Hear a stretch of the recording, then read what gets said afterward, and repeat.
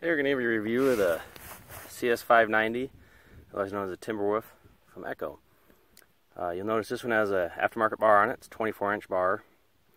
Uh, we did we had the 20 inch on it when we bought it. We uh, actually bent the bar only because of my mistake, not because of the sauce problem. Went 24 inch. Uh, we did do the muffler mod. I'll show you that. Uh, talk a little about that later.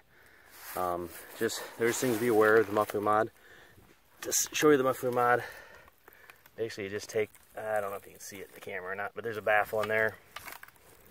And yeah, you can see the baffle's gone. I left the screen in there, that's a spark arrestor. So, that's the muffler mod. Uh, before you do a muffler mod, there's really a couple things to think about. You avoid your warranty if it's under warranty. You're going to have to richen up the carburetor, most likely. Um, usually you're going to give up a little idle quality because you got to because you lose that back pressure to make it scavenge correctly, but you will gain top end. So with these new carburetors, that means you have to take the plastic limiters on the screws out. So don't just do a muffler mod because see on the internet. Do it if you think you need a little more top end power. Um, I, that's why we got the 24 inch bar. It cuts cuts like a beaver on rabies at the moment. So we'll do see if we can get some action shots for you.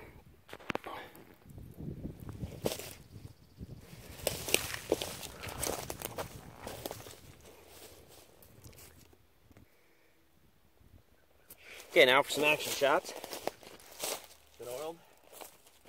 The field. Thing's about as loose as I want it.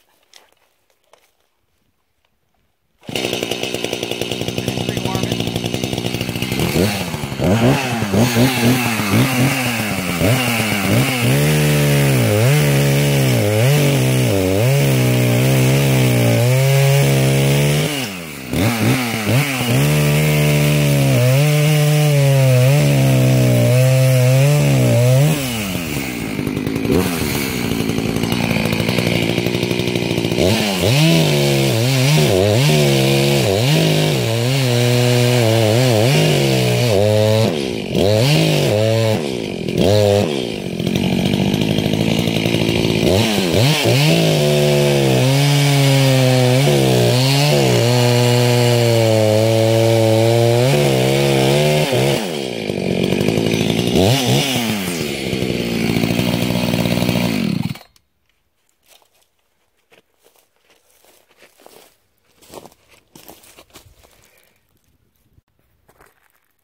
in review, I like the saw. I would buy it again.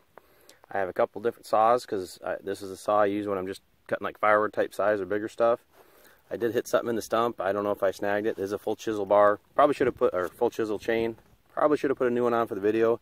This one's getting where it might need a little touched up, but it's still cutting real good. Um, you can see the chips are still real nice and big. Uh, again, CS590 would definitely buy again.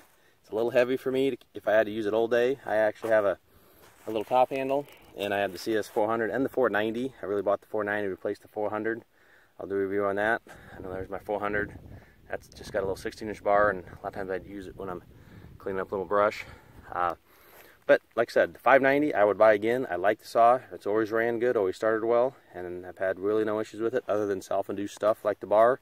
When I did the muffler mod, I had to take the plastic limiters off the carb and do some adjustments. But other than that, it's been real good. Thanks for watching.